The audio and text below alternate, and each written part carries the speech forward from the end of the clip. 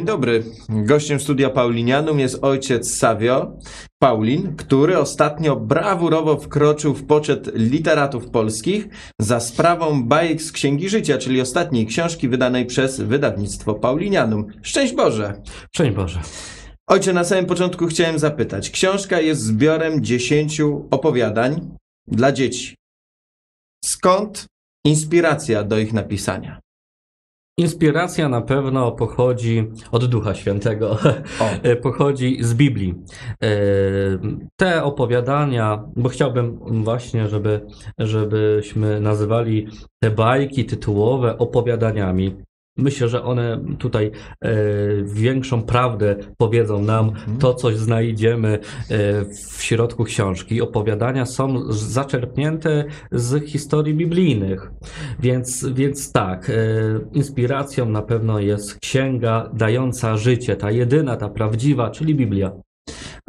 To w takim razie jak wygląda proces twórczy przy takich bajkach? Siada ojciec przed Pismem Świętym, a następnie jakąś księgę e, bądź przypowieść przemianowywuje na e, jakąś dziecięcą opowieść? E, No nie do końca. Mhm. Ja, ja teraz zrozumiałem, co to jest natchnienie Ducha Świętego i na czym polegało pisanie Pisma Świętego, że ci O, autorzy, odważnie.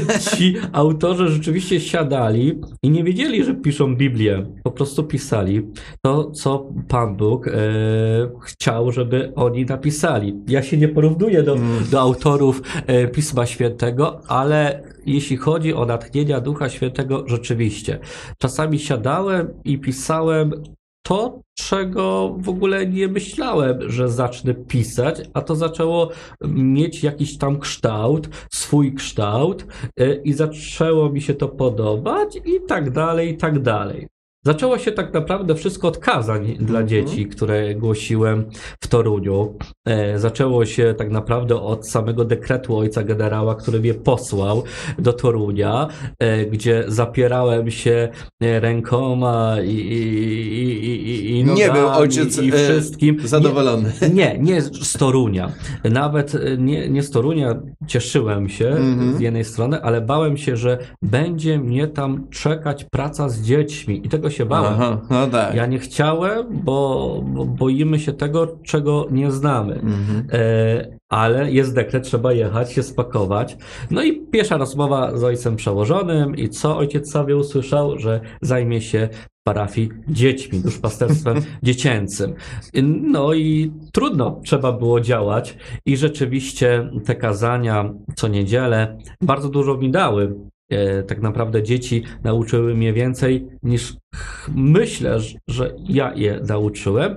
I niektóre tutaj z opowiadań to są po prostu kazania przełożone już, wpisane w tą księgę e, dającą życie, czy księgę życia, bajki z księgi życia. E, Pierwsze opowiadanie o owieczce to jest tak naprawdę kazanie, które wygłosiłem parę lat temu toruńskiej parafii na pasterce, pasterce e, z udziałem e, dzieci. O 21 pamiętam, poszedłem sobie wcześniej na spacer. Mówię, dobra, teraz czas, żeby ułożyć kazanie e, dla dzieci. I stworzyłem, czy moja głowa, czy Duch Święty, właśnie współpracy tego wszystkiego, żeśmy stworzyli taką postać jak owieczka, która miała krótszą nóżkę. I co się stało? No to wtedy należałoby przeczytać to opowiadanie i się wszystkiego dowiecie.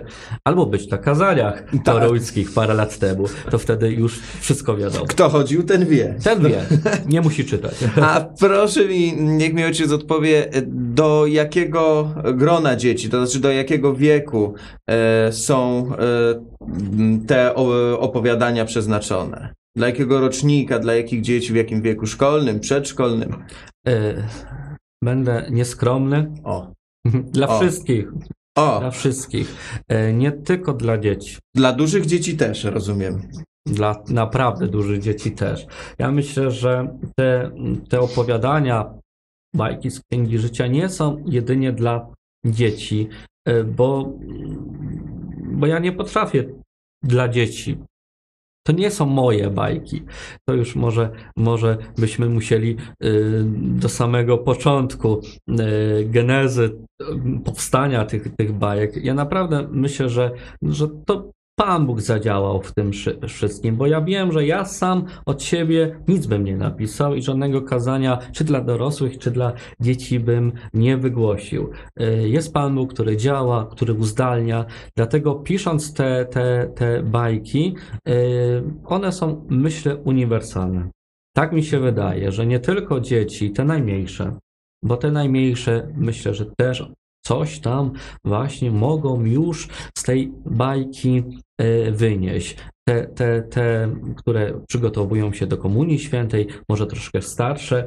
No młodzież wiadomo, nie będzie tutaj czytała, aczkolwiek wiem, że, że, że czyta, e, że czyta e, dzięki pewnej osobie, która też miała wielki wpływ na powstanie tych książek, też kupiła i czyta, więc się poprawiam. Dla młodzieży też, dla rodziców, które, którzy będą e, czytać dla swoich pociech te, te opowiadania, dla babci, dla dziadków. Nawet ostatnio brat do mnie dzwonił i, i szczerze mi chciał przekazać relacje z czytanych opowiadań, które zaczęli razem z moimi bratankami właśnie e, czytać w domu i mówi, że w pewnym momencie właśnie jego synowie e, potrzebowali jego wyjaśnień. Ja mówię, no właśnie, bo to nie tylko dla dzieci są opowiadania, ja sobie zdaję z tego sprawę, ale dla dorosłych też, którzy mogą coś innego z nich e, po prostu wydobyć. No tak, to, tą y, głębię, której dzieci być może jeszcze nie dostrzegają, prawda? Y, a, bo m- mówił y, ojciec dużo o czytaniu. Y, żyjemy w kulturze obrazkowej podobno. Z powrotem wróciliśmy do tych pierwotnych naszych zapędów, y, więc chciałem o ilustrację y, zapytać, ponieważ ta książka jest bogato i pięknie ilustrowana. Kto był ich autorem? Autorem jest pewna studentka z Torunia, e, z Wydziału Teologicznego, przyszła katechetka, miejmy nadzieję, Kamila Gajewska. To jest dziewczyna, którą poznałem na pielgrzymce toruńskiej i tak się to wszystko zaczęło. Dziewczyna, e, nastolatka, e, która była przy Panu Bogu. Zaproponowałem jej pomoc żeby mi pomogła e, z dziećmi z oazy, dzieci Mhm. Bożych, które też e, miałem okazję prowadzić w Toruniu. E, I tak nasza znajomość się rozpoczęła. Myślę, że, że się nie zakończyła, ale między innymi to wspólne dzieło, bo to nie jest tylko moje dzieło, ta książka, ale też i jej, i wasze również, bo o tym też nie zapominajmy. Y, Jest to kawał dobrej roboty. Wyobraźcie sobie, że, że Kamila y, no, ma talent i ona tak sobie malowała, tak sobie Mhm. rysowała jakieś tam na przerwach, uznajmy, że na przerwach w szkole, e, jakieś tam obrazki e, i zaproponowałem jej, słuchaj, tworzymy e, stronę na Facebooku, ja piszę, ty malujesz. No dobra. I tak się rozpoczęło. Blok, kredki, a ja e, Word i piszemy.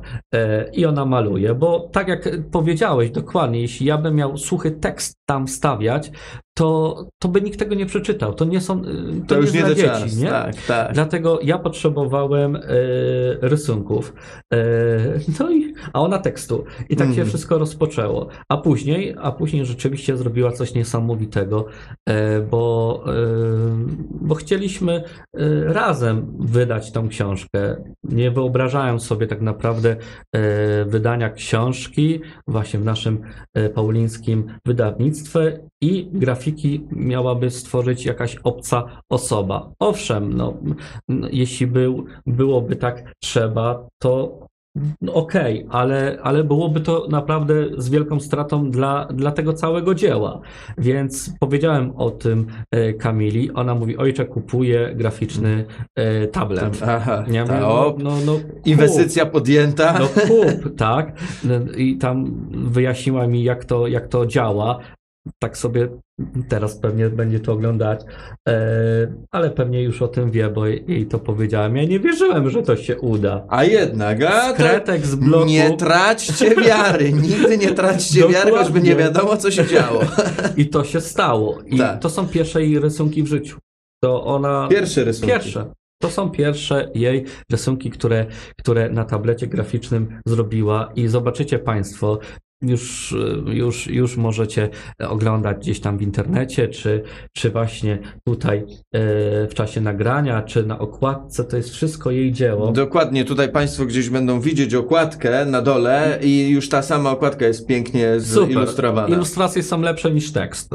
o, to To na 100%. czyli dzieciom nawet jak się nie chce czytać, to dla samych obrazków warto, warto Na tą pewno, książkę pokazać. Nie, bo tu się faktycznie pięknie tekst z mm, obrazem przeplata. To jest to Tak mi się wydaje. pod względem edytorskim ta książka jest faktycznie y, no, mistrzostwem świata, a trochę w branży księgarskiej robię, żeby sobie Państwo nie myśleli. No, na, na pewno. Że to tak, Myśmy- tak tylko, że tak tylko gadam. Jeszcze tylko o okładce powiem, Mhm. bo, e, bo podzielę się z wami. Ta książka ma ukryte sensy, bo ona no, e, w tekście jest moje też życie zapisane. E, Moje, moje jakieś takie przygody. Kto mnie bardziej zna, to wyłuska to, co tam było e, napisane, a w okładce znalazł się piesek, który, który jest jednym z bohaterów jednego z opowiadań, ale tak naprawdę to jest jamnik moich rodziców. O, o, E, to już nepotyzm, to już wszystko wkręcone, wszystko. No oczywiście, wszystko, wszystko idziemy.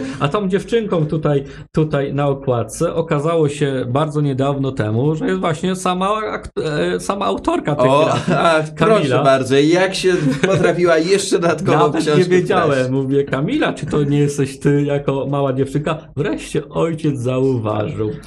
Szukałem siebie, nie wiem, ten osiołek może podobny do mnie, ale, ale rzeczywiście... Albo ten chłopak, tylko bez brody jeszcze, to może... Szukajmy dalej, szukajmy dalej. Ja myślę, że jednak Gdzieś tam. znajdę. Gdzieś tam jest. E, ojcze, ja chciałem zapytać jeszcze, bo na e, odwrocie książki mamy e, krótką wzmiankę mm, o babci, która gdzieś tam być może wpływała na tą inspirację, a może gdzieś te e, opowieści z dawnych lat, które, m, które opowiadała ojcu, gdy m, był ojciec nieco młodszy, e, wpłynęły na tę książkę, więc chciałem zapytać, czy tam jakiś copyright właśnie do babci nie należy. Czy nie? Czy to wszystko autorskie, wymyślone przez Ducha Świętego, przez, przez głowę przesadzone i rękoma spisane? No to tak, to ta opcja, ta druga, Mhm. E, ale ten tekst z tyłu, on jest dla mnie bardzo ważny i bardzo się cieszę, że on właśnie się tam pojawił, e, bo babcia była dla mnie wzorem. E, Tam możecie Państwo przeczytać mm, takie moje świadectwo, że jako mały chłopiec pamiętam to doskonale.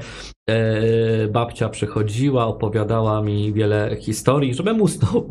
tak, tak się to robi.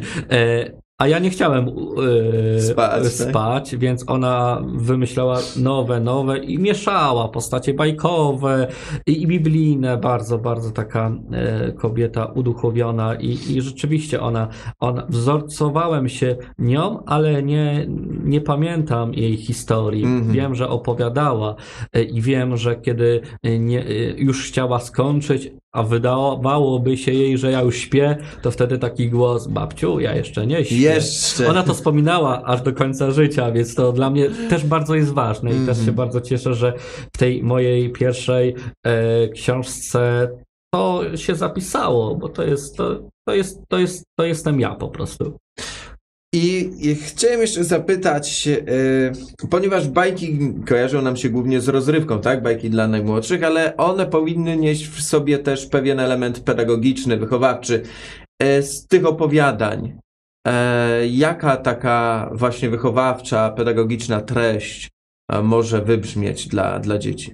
Czy wybrzmiewa w ogóle? Ja myślę, że w ogóle praca z, z dziećmi właśnie ma polega na czymś głębszym. To ma być wszystko takie, takie dobre i miłe, takie, takie dla, dla dzieci, takie, no, takie po prostu czyste i piękne. Owszem, ale to ma również dać im em, inspirację do, do życia. Więc co? Prawie każda książka kończy się e, pewnym podsumowaniem. E, Ale ogólnie, tak mi się wydaje, cała książka, te opowiadania, bajki z Księgi Życia e, mają pokazać dziecku, że Bóg jest dobry, Bóg was kocha. To jest przesłanie całej książki. Jeśli miałbym skrócić, skrócić e, książkę w jednym zdaniu, Bóg was kocha. O, i to jest piękne, żeby od najmłodszych lat dzieciom tą e, złotą zasadę wpajać, że co by się nie działo. Najważniejszą. To, tak jest, najważniejsza zasada, że Bóg, Bóg nas kocha.